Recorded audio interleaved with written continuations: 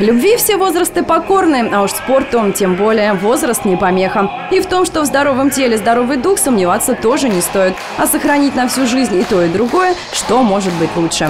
Сегодня в нашем городе, в Сдюшор родной край, впервые состоялось физкультурно-спортивное мероприятие «Бабушки и дедушки на старт», посвященное Дню пожилого человека.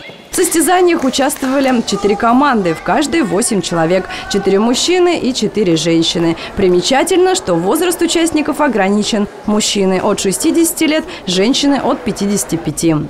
Кто-то из них профессиональный спортсмен, кто-то поддерживает форму, делая зарядку по утрам. Но все они в один голос уверяют, что спорт – это жизнь и, конечно же, здоровье.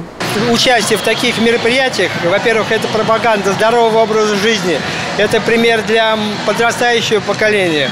И такие мероприятия добавляют эмоций, настроения хорошего. Навеки со спортом. Навеки 45 лет в сборной команде области, России. Ну вот, только что пробежали Есенинский пробег, выиграл, выиграл в Гиблице, это Аксеновский пробег, дважды Герой Советского Союза летчика-космонавта. Ну и сегодня примем участие и постараюсь показать хорошие результаты.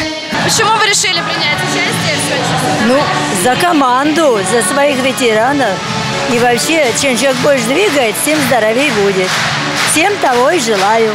А как считаете, вот спорт, он помогает вообще поддерживать здоровье, держать себя в форме в любом возрасте? Конечно. Если вообще не двигаться, вообще ходить не будет.